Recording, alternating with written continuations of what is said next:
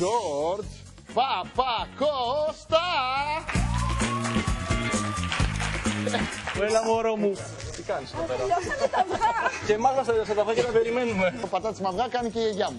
Από τον Παπακώστα θέλω να δω κάτι διαφορετικό στο Ε, πατάτσι ναι, ρε μαυγά. φίλε, αλλά επειδή η δικιά μου η γιαγιά δεν μου έκανε, επειδή έλειπα στο εξωτερικό, θα τα κάνω όπως θα μου τα φτιάχνει η γιαγιά μου. Και σαφέστατα ο νικητής είναι ο Παπακώστας.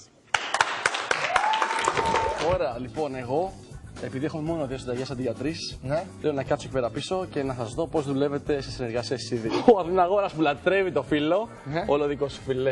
Η μαγιά είναι φίλε Παπακώστα τώρα. Να τα έκανες εσύ αυτά. Ναι, και εμείς δεν σε βλέπαμε. Η μαγιά θα Καταλαβαίνεις. ήταν να καθόμουν πάνω στον πάγκο εδώ Αλλά, και να ξεγιά, ρίχνει αλλά εντολές. ξεγιάλισες λουστρίνη σήμερα και σου φαίνεται άσχημο. Μπράβο. Και ξεγέλασες κι όλο το κοινό. Και τώρα τη λύγει ο χοντρός και τη κάνει ζωάκης. Έλα, Παπακώστα. Έλα. Πολύ ωραία ιδέα, ρε φίλε. Έλα. Πω, πω, φίλε, κοίτα πώς, μυρί, κοίτα πώς μυρίζει τόνκα. Κοίτα εδώ πώς μυρίζει τόνκα.